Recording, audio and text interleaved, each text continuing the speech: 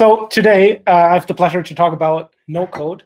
And uh, the key question I'm trying to answer is, uh, does no code mean we don't need any engineers anymore?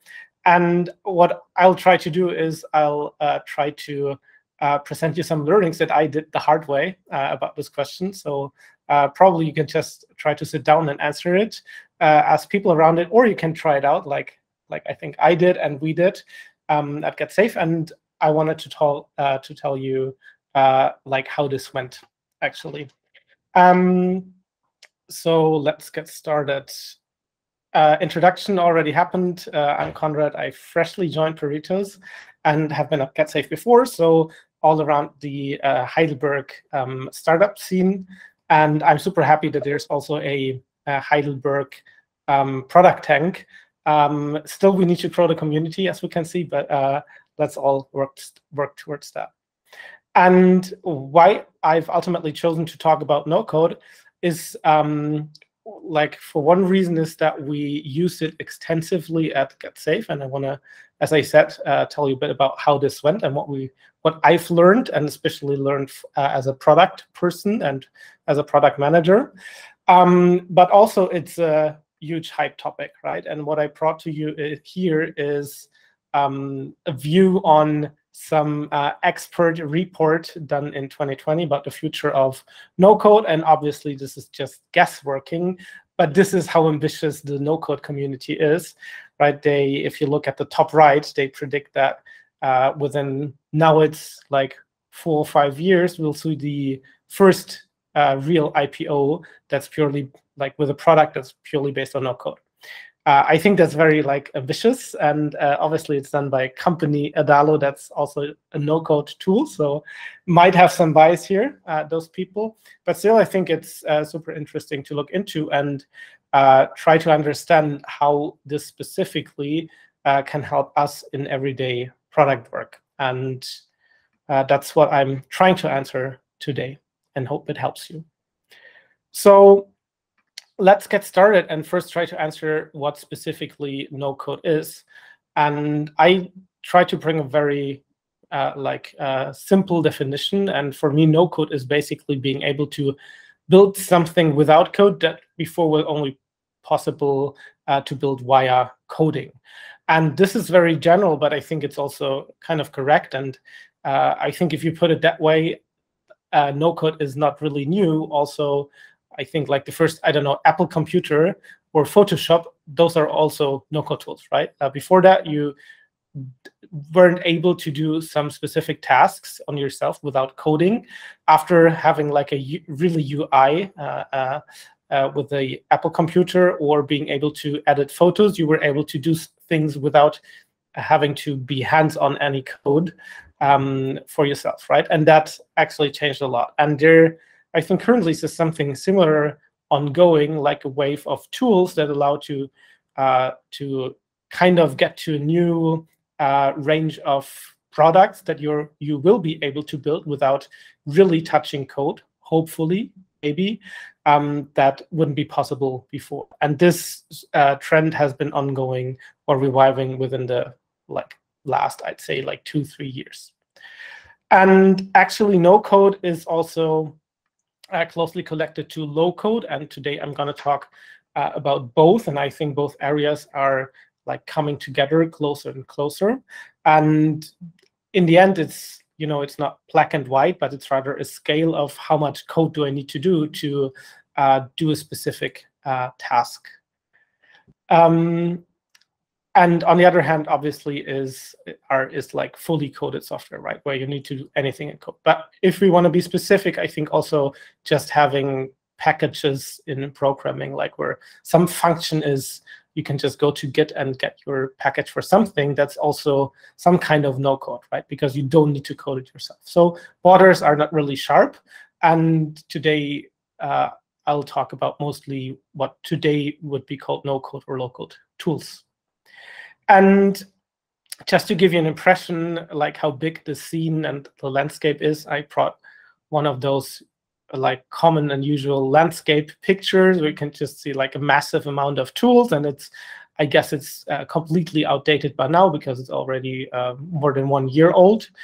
Um, and you probably find a logo of a tool that you've already used in some context. And also there's a wide range of, uh, you know, between just very small tools to, uh, for a very specific task and massive enterprise software tools um, on this map, on this landscape. So this is, it's not like one stack and one tool, but it's a range of tools that uh, actually help you doing things without uh, the need to heavily uh, code and that and that's one of the key points also i want to make today. If you know how to stitch them together you can build very powerful uh, stuff in in quick time.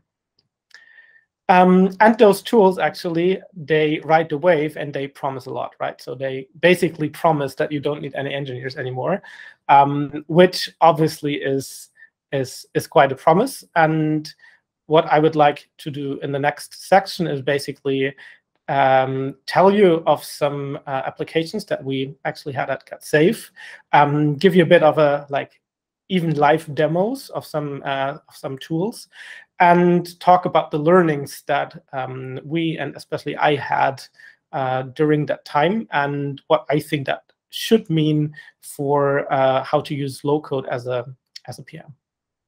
So, question is, uh, do we? Is there no need for engineers anymore? And let's try to answering it by looking into specific examples.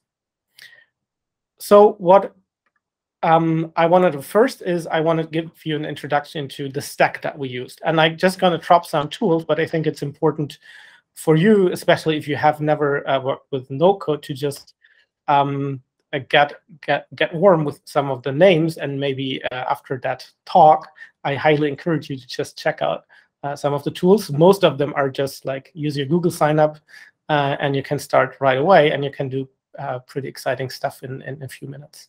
So one of the key uh, tools that we used was um, Zapier. Uh, it's it's kind of an older tool in in in no code, and it basically lets you connect any two tools that you can think of and perform very basic data operations. We'll look into Zapier in a second. Um, what we also used is uh, Superblocks. It's a newer tool. We know it from a like basically contact from a friend of the company. And Superblocks is kind of similar to Zapier, but it's it's like more heavy in terms of what you can uh, what you can put in as custom code in there. Right. Plus, it has a huge advantage. You can just create APIs, which um, which is pretty awesome, and I'm going to show it also to you in a second.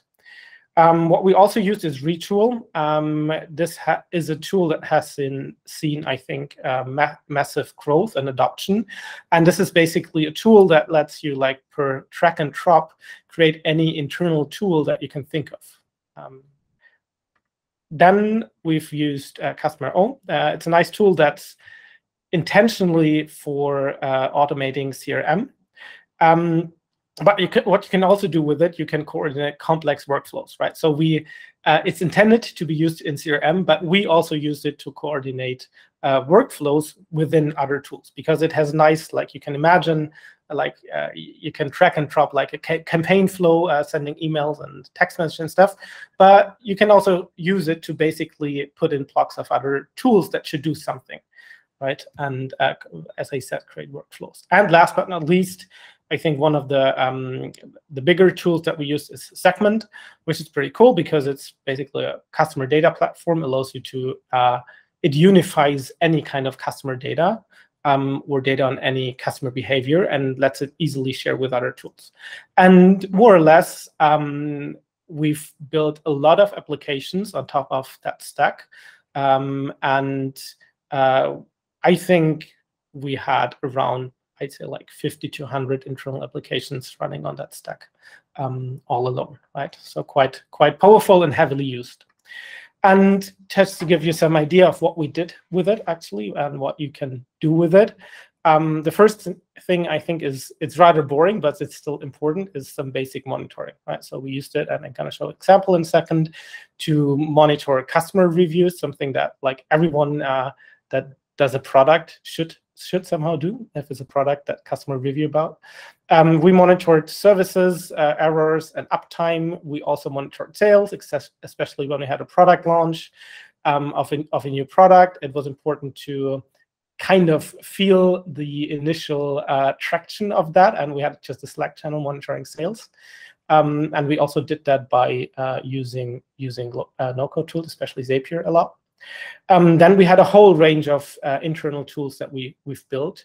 Um, like two of them, just to mention, are coupon code management. Going to show you some some stuff around in a second, and a lot about um, automating sales operations, right? And just to give you an impression, I think that just around automating sales operations, we had uh, like a couple of hundred probably automations up and running, right? And um, last but not least, and I think uh, most exciting, we also had some real customer-facing features um, or fully fledged features uh, run on no code. And um, one I want to show you later is uh, an offer calculator.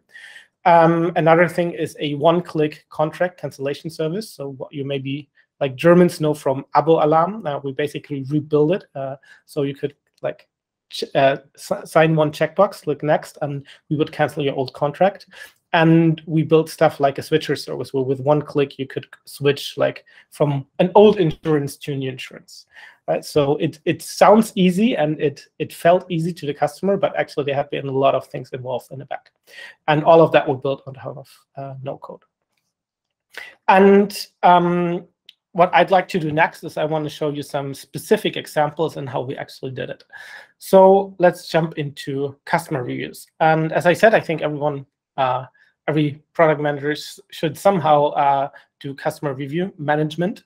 And what we did is like uh, like started as a very basic thing. It was basically okay after I don't know a customer talked to a service agent or a customer service um, a colleague, they could rate their experience with five stars, typical CSAT uh, rating, right? And um, then of course questions like where do you save them? Usually you have like a third party tool to collect it. And what we just um, did is we used Zapier to create some kind of uh, logic on top of what, what the customer actually rated. And this is actually not 100% how we implemented it, but it, it, it pretty much depicts uh, what the logic here was, right? So for one and two star reviews, for example, we could we would just like uh, send it to Slack, right, and notify people because this usually hints on something is going wrong, right? Very bad review. Um, hopefully, the customer also stated a reason for that, and someone should look into. And then in Slack, we could do the usual review operations, tag someone who takes care of that, follows up with the customer, sees if there has been like a technical error, and so on and so forth.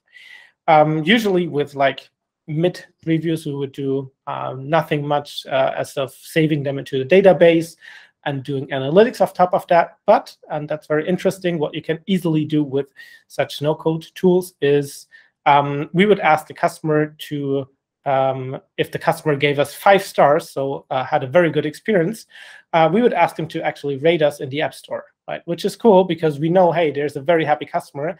Why don't we uh, try to use that momentum and ask the customer to give us a good rating in App Store, which then like hopefully and organically attracts um, other people.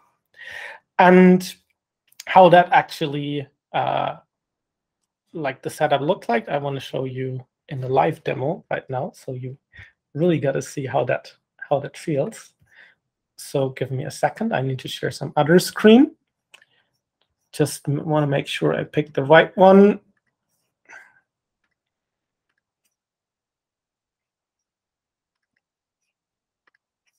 That's actually the same screen. So can someone give me a sign if they see some other screen right now? Zapier, no, we just see one screen. Ah, you see, you see Zapier right now, correct? Yes. Yes. Okay. Awesome. Cool. So um, as I said, um, we did this with Zapier, and uh, this is how Zapier looks like. I uh, hope you understand I'm not using uh, the Zapier account of especially GetSafe as my former employee, but that's my private account. Um, but I set up a uh, basically um, a Zap. That's how like one entity in Zapier is called. That's pretty uh, pretty similar to what we did. And what you can see here, there are a lot of things you can do, but the main thing is you can create zaps. And what a zap is, um, is basically, you can do that right now, um, is just something that waits for a trigger, for example, a new uh, event in your calendar, a new contact, a new file in some folder on Google Drive, a new slide, a new slide deck, whatever, right? So there are thousands of triggers that you can, uh, predefined triggers that you can choose of. Uh, then you can do some transformation with the data you get in there, whatever it is, right? And you can perform an action. So you can, for example, send it somewhere else, right? That's the basic idea of Zapier. And it's quite powerful. And how that example that I showed you with customer reviews would look like, uh, could look like, is, is like this. So uh, let's say we collect those reviews in a Google form, right? So we would send that out or embed it somewhere, and people would rate us uh, one to five. And you can just uh, select here, hey, let's go to Google Form, uh, wait for new form um, response. So someone send in their review, then I'm gonna choose my account. Cool. Um, I gotta choose the form. So those are all the forms that I have. I'm gonna choose CSAT and I can test the trigger, right? And testing the trigger just pulls in some sample data and I can use it by then. So I somehow can see that, okay, this seems to be the rating, there's a one, and this seems to be the comment, right? And what you can see here is a typical thing of like no no code tools.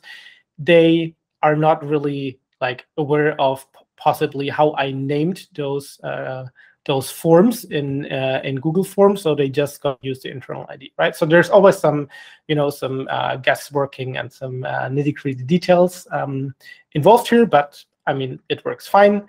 And what I would then do is I would create a path, and that's a predefined action. So I can basically say, hey, uh, let's see. Um, if how did you like it is less than three, so one or two star rating, then do something like send this channel message Slack. Okay, it's just all pre predefined. I choose an account, uh, I choose a channel, and I can just use the data from basically the trigger that I had. So the uh, form response, like how did you like it, uh, who sent it, didn't get data here, and what did you like or not like. The app was loading so slow. And I can just use it here as kind of parameters and uh, variables and put it in, right? And I can do a lot of things like giving it a, a nice icon uh, and so on. And uh, click continue and I can test the action. I did this yesterday, right? And there was a nice message in Slack. And uh, then I can go back and I can do the same for three, four-star reviews. And for five-star reviews, I can basically uh, create, for example, an event in Customer.io, which would be send an email and ask for App Store rating. And once I'm done and tested it, I can just click publish. Doesn't work because I, I'm not connected to some of the tools right now, but that's as easy as, as it is, right? So it literally takes you like probably 10 minutes to set that up. And it's, I think, quite a powerful uh, workflow already. Cool. Um, so hoping that you can see still my presentation. Yes, I would like to go into one other um, tool that we've built on top of NoCode that's a bit more advanced, but also not so much advanced, but that had a huge impact uh, for us.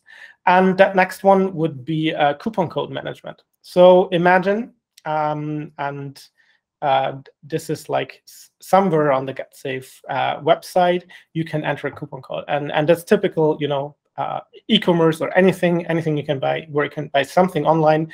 You usually can add a coupon code, and you get like a discount if you got referred by a friend or uh, got like into a special sale or whatever. And we also had that.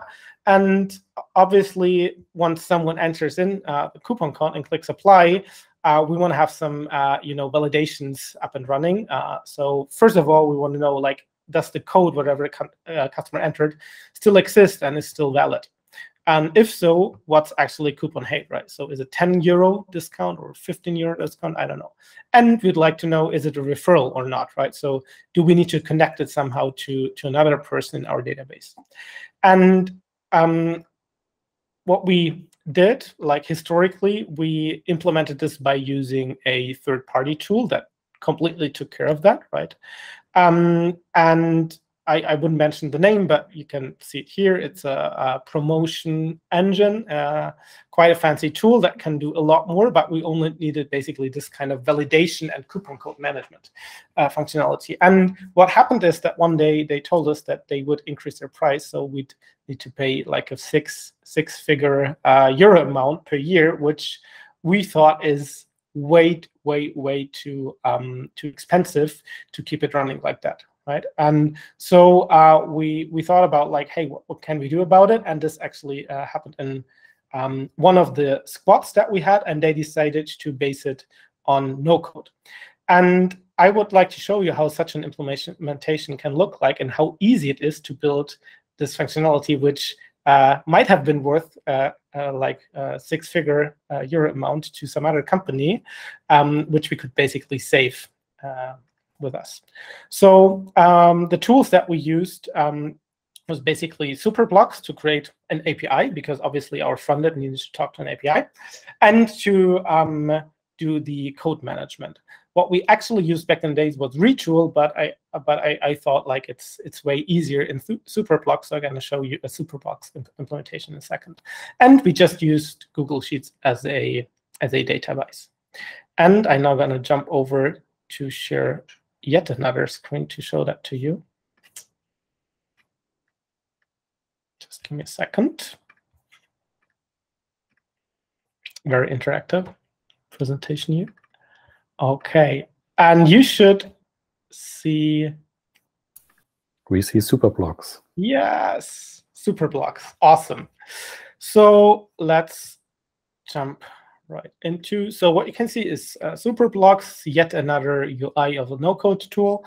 And what you can do here is you can create applications and workflows, which basically uh, is an API or some scheduled jobs. Right? And it's pretty cool. As I told you before, this is a no-code tool that's more like leaning towards low code and allowing for a bit more code. And sometimes that's really, really handy. And yes, I'm implementing a pizza dough calculator uh, on my own.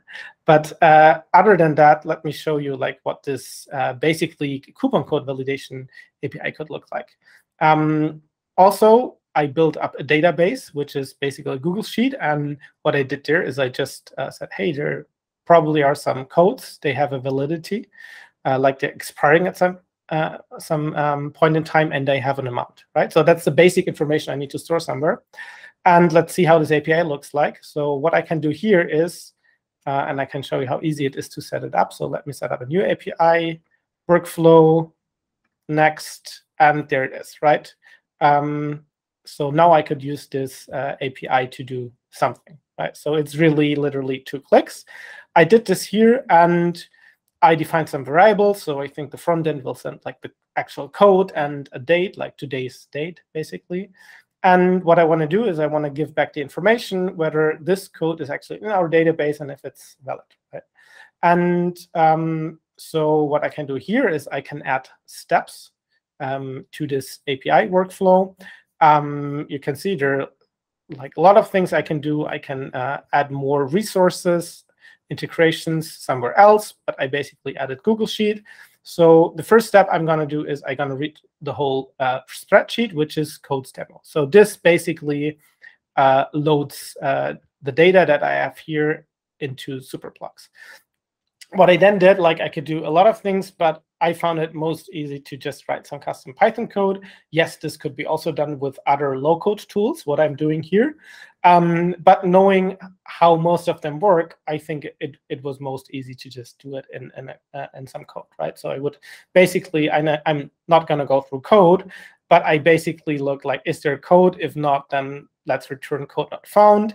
If there's a code, check uh, check the validity, like the expiry, and tell me if it's valid or not right? And that's that's basically it. And what I can do uh, based on that, I can uh, now use this API. And sorry, I need to share my window again. Otherwise, it's you're not going to see the effect. Um, there you go.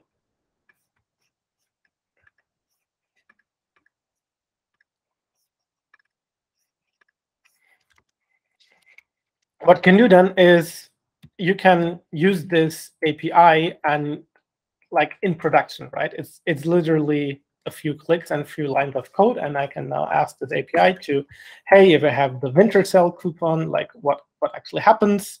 And it says me, okay, the code is valid and the amount is 15 euro, right? So it just gives me the entry of that of that Google Sheet. I can also enter, I don't know, some other sale, uh, sale 100, I don't know. It's not in the table, right? And it gives me code not found. So it's it's literally as as easy as this. That obviously, no, I'm uh, this should be a developer's job, but uh, I hope you saw like how easy it is to literally replace a tool that uh, would otherwise have cost uh, a big amount of money. Right? It takes few minutes uh, to set this up. And what you can uh, do as well, you can build a nice UI around uh, very easily around that Google Sheet and uh, let people create new codes, edit codes, delete codes, right? They can either do it in Google Sheets or then use the nice UI. But it's all, all like a few clicks away. And to continue in the presentation, I hope you got it. yeah, you should be able to see it. So that was super easy and actually had a huge had a huge impact. Last but not least, what I want to uh, not show you in in real, but I want to uh, give you an idea on is the actually that's wrong. I want to show you uh, and talk about the offer calculator, and this is something that gets a bit more intricate, right? But let me get you down to the idea. So what we saw that um, oftentimes um, our customers uh, at GetSafe, they would be on the phone with customer service agents.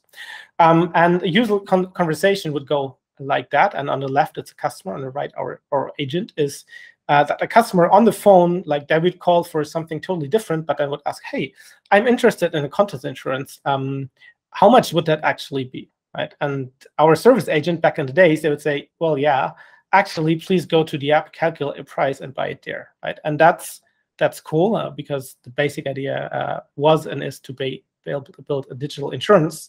Um, so to not sell it over the phone or via paper, but still it happened quite often that people just ask on the phone, right? And uh, like to give you more context, and, and this is very interesting from a product perspective and strategy perspective, we saw that a lot of KPIs like metrics uh, of people that had very positive uh, customer service interactions um, went up right? So uh, by creating very nice service interactions, we could actually uh, do something good for over overall numbers, right? So good experience uh, must not only be digital, but also good physical or like human touch experience can lead to good things for both like the customer and the company. But actually, we never really built this feature of um, uh, like our service agents being being able to uh, to buy something or offer something over the phone.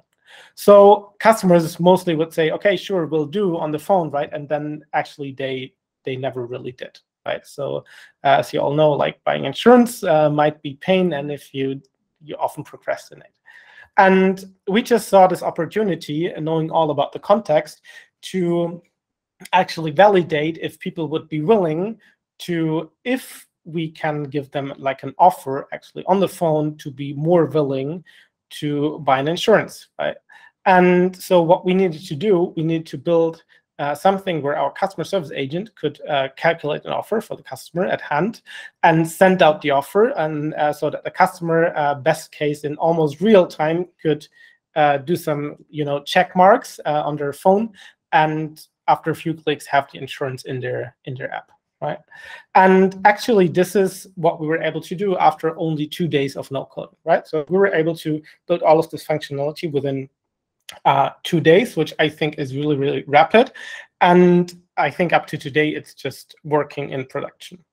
Um, and this is how uh, probably a very uh, good conversation would go uh, right now, right? So people would really be able to give, uh, to send an offer, our service agent uh, I GetSafe and uh, receive the offer via email. Uh, people would just see it. They need to do some legal check marks, but then be able to buy it.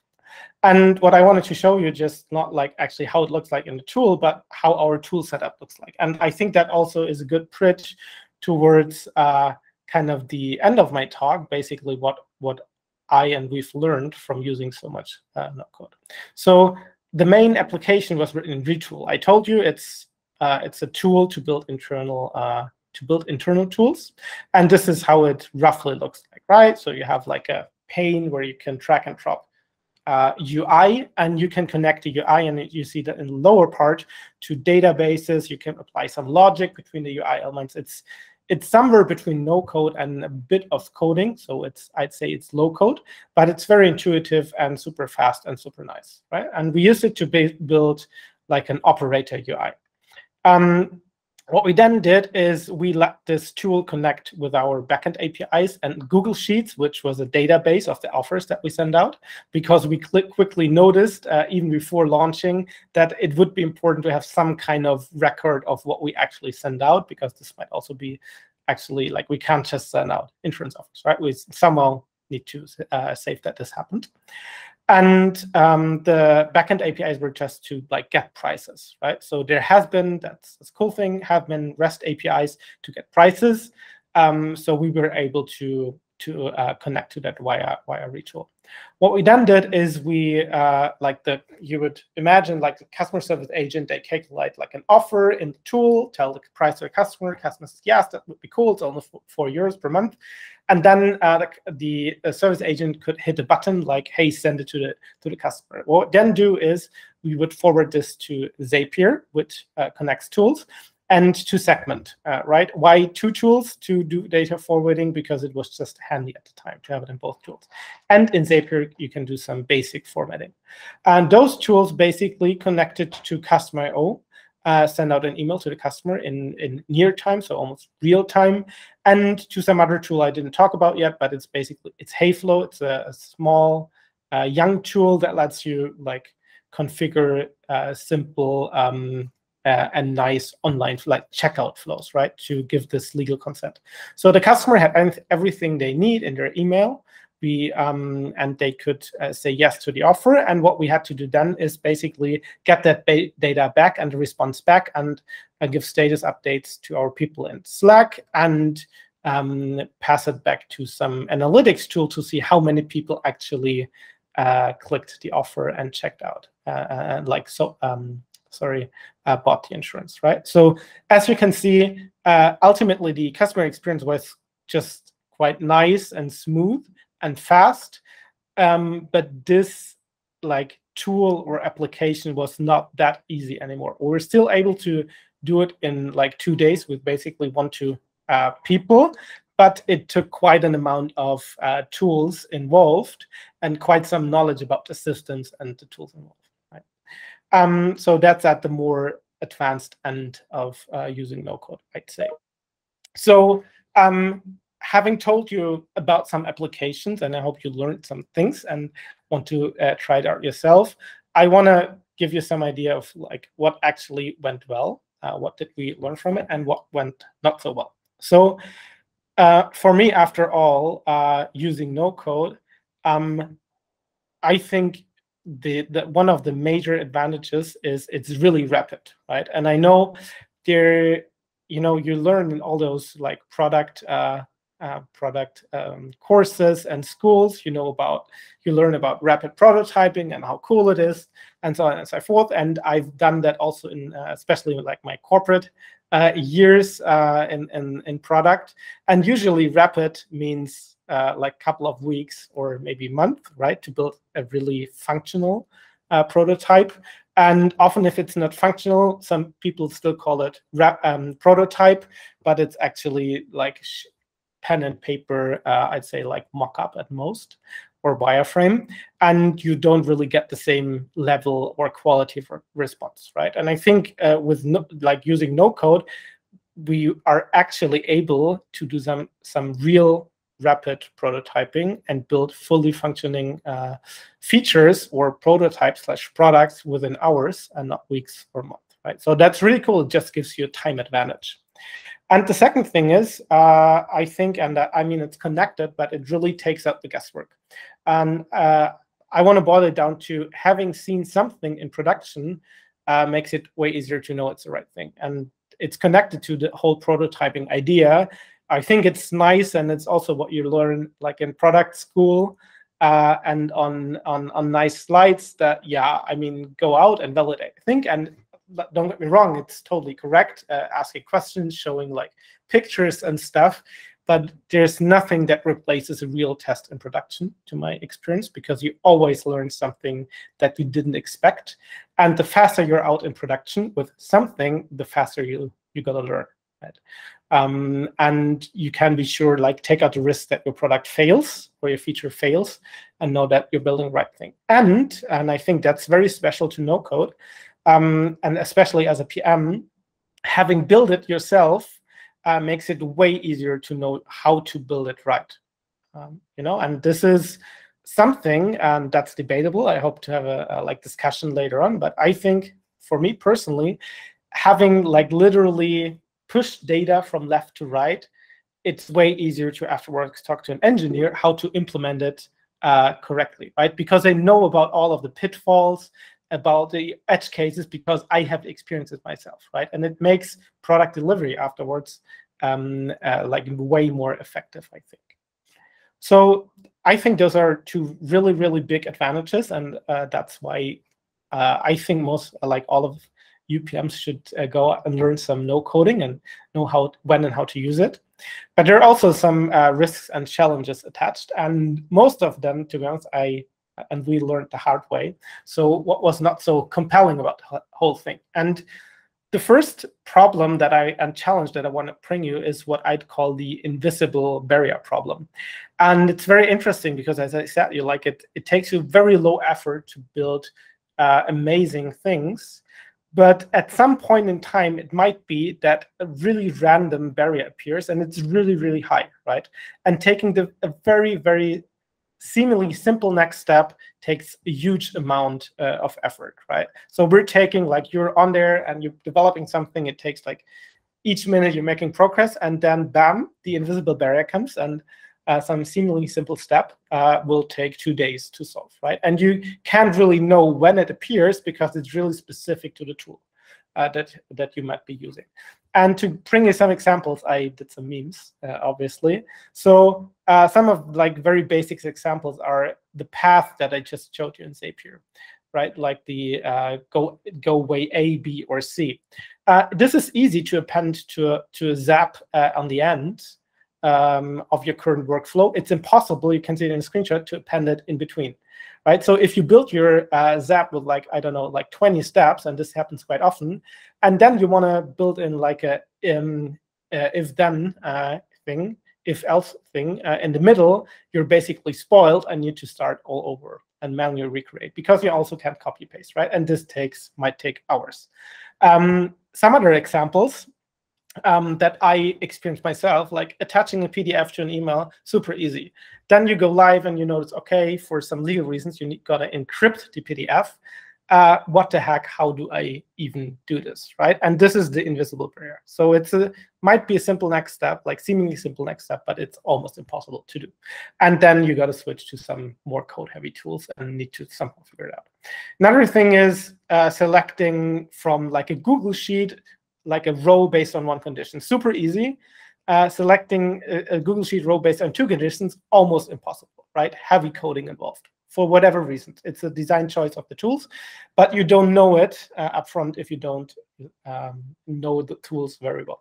And last but not least, and that's that's one of my favorites. I uh, favorites I experienced myself in Zapier, uh, like looping over 500 entries uh, of whatever you're doing. Super easy. Looping over 501 entries, it's almost impossible. It's a huge pain, right? And how would you even know? It's yes, it's somewhere in the documentation, but how would you even know, right?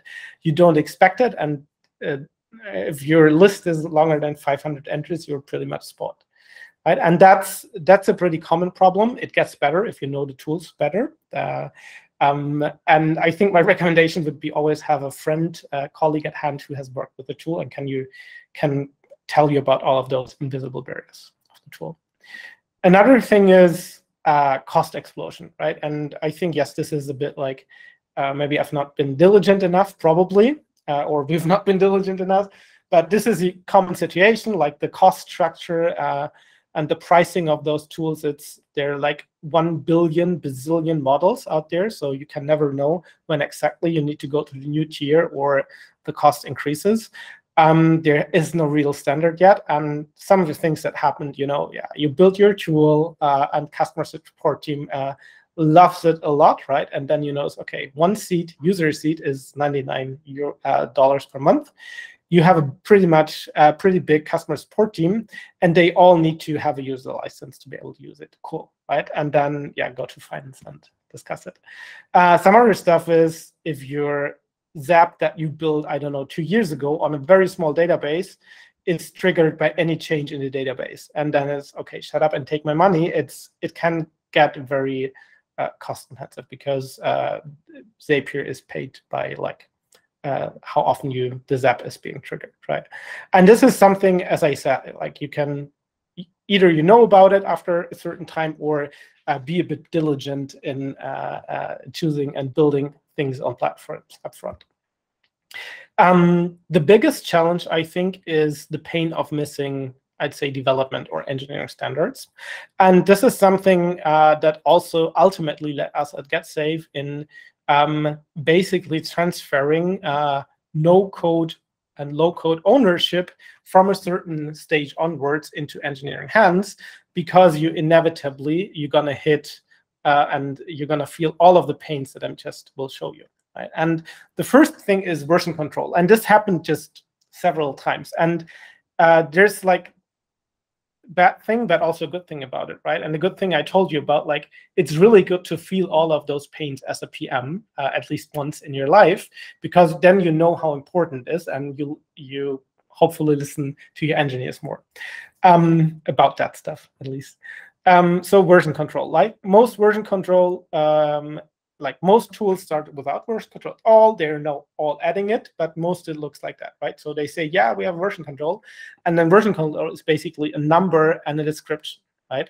And yes, you can restore old versions, but you mostly have zero idea what actually changed, right? And then it just might happen if you have multiple collaborators on those tools. Someone changed something, the whole system uh, is not working anymore. And then the only thing that you can do is you can go back to another version and try to recreate all of the stuff, right? And that might be quite time intensive.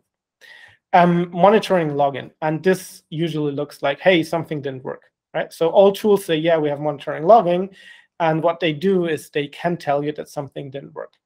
Um, and that's nice, but actually, most of the times you want to know like what didn't work, right? And it can be quite painful to get information out of that.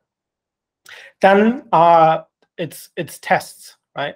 And like literally i felt the pain of not being able to test edge cases because they usually uh, this is usually when your whole application crashes and that's the same for uh, like all the applications we know and we've built like let built uh, by engineers and also no code uh, applications.